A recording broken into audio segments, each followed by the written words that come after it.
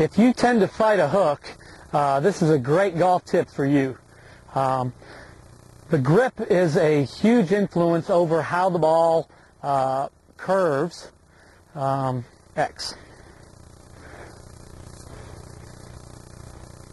What I'd like to show you is how a piece of grass, something as simple as a piece of grass, can help you eliminate your hook. What I'd like for you to do is to take your normal grip with your right hand and on your place some grass right on the thumb of your right hand.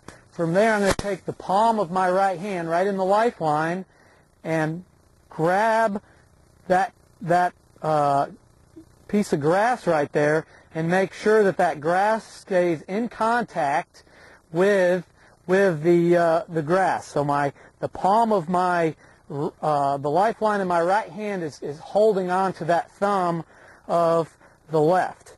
And what we would like to do is we're going to hit some balls rather than those of you who hook the ball that probably change grips and allow that right hand to over rotate by us placing that piece of grass right on the left thumb and taking the palm or the lifeline of my thumb and holding onto that piece of grass, hit some golf balls and, and get the feeling of not rolling or flipping the hands over.